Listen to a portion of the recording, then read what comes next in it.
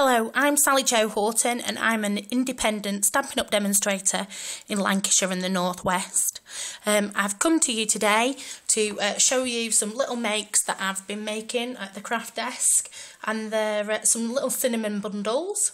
Uh, I think um, I've got a, a, home decor and a Christmas theme going on at the minute, but quite neutral. But they were inspired by um, a swap, a team gift I was given a couple of I think over a year ago now.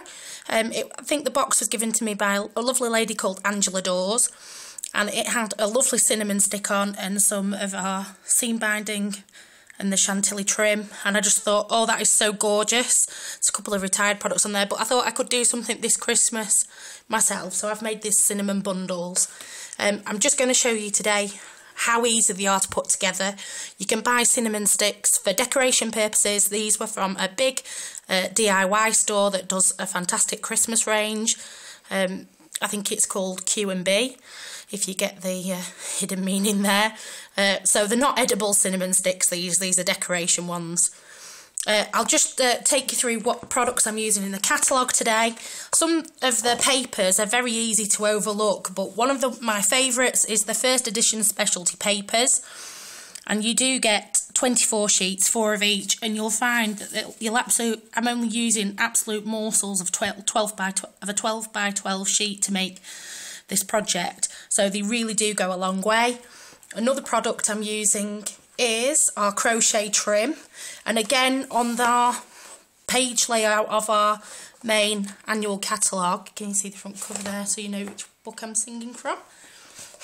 Uh, the trims this year they haven't gone into as much detail just showing you what's what and sometimes it just doesn't show them off to the best. So this is the crochet trim and it is absolutely a stunning product. There it is in the catalogue. You can't see the gorgeousness of it. I'm absolutely using the smallest morsels of this. So, it, you know, I am a scrimper and a saver. It does go a long way.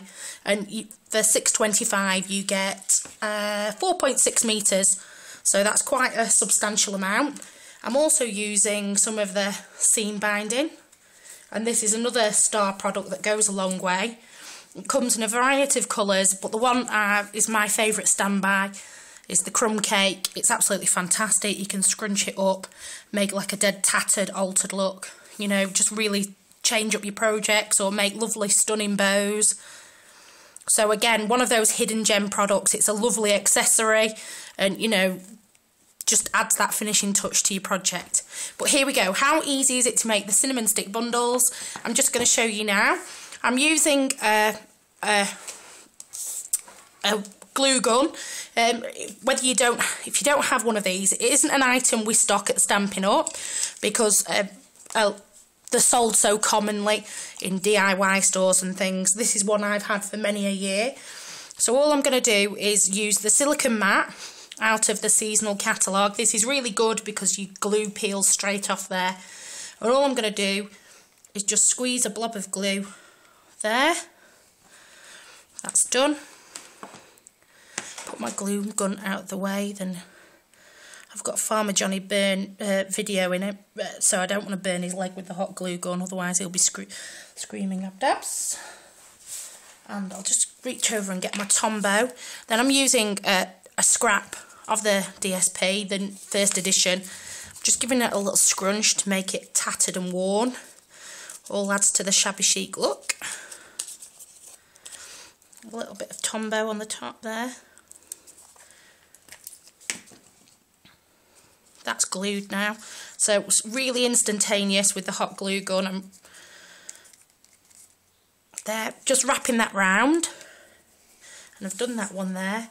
And so now to add the crumb cake ribbon and the little fabric, uh, the little, little crochet trim scrap. So all I'm doing now is just doing a flat reef knot under pull it really tight and then you get some creases in your first edition. And as I make it pull it round and make a loop there I just thread my scrap through. And just by eye oh stuck to my finger. That Tombow really is sticky today. And then pull it tight and that just secures the scrap in and you can just go back and just straighten that there, pull it nice and tight, and bring my scissors in, paper snips, and just tidy that edge up there. Give that one, it does pull and fray, but that's part of the allure. And there's one, and we'll just finish the other one that I started earlier.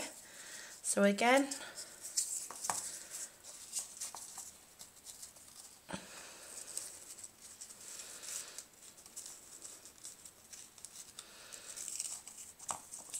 just there, give yourself a little bit of a bit to work with.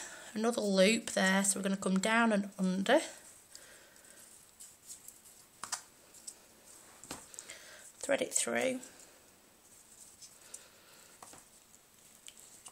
pull it tight and just as you're doing it just have a look with your eye see if you're pleased with that pull it really tight and it just gathers the paper and gives it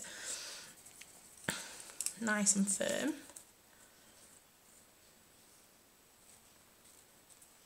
there we go snip this edge off because for me there so we've got I've got I've got a nice stash of the cinnamon bundles. I'm just going to finish them off with a little bit of linen thread. And literally, I'm just going to thread the linen thread through a gap there. And just knot the top. I'm going to do this on all of them, but fingers and thumbs because you're watching.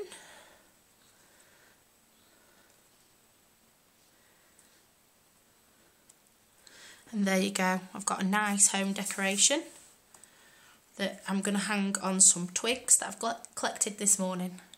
So that's just a cinnamon bundle and it's just made with some cinnamon sticks and some products from Stampin' Up. So again, if you'd like to contact me, I'm Sally Jo Houghton and there are my details. Thanks for joining me today. Bye!